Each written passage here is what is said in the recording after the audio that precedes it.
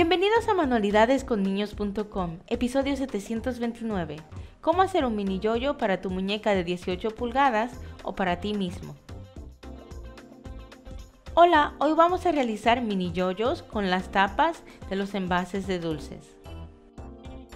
Voy a empezar por recortar dos hisopos a la mitad. Recortaré el extremo que tiene algodón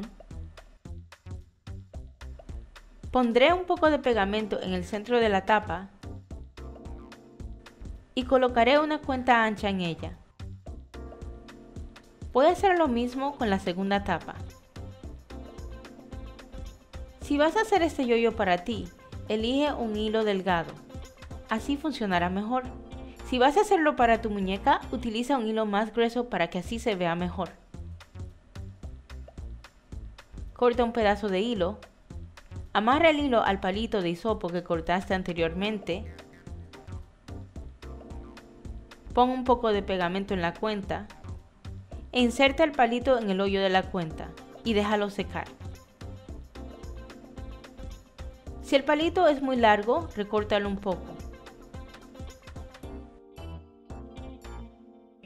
Pon pegamento en la cuenta de la segunda tapa y pégala. Haz un nudo en el extremo del hilo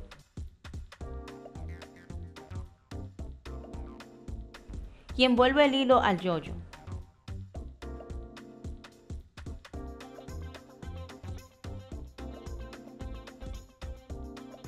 También puedes decorar tu yoyo con pegatinas.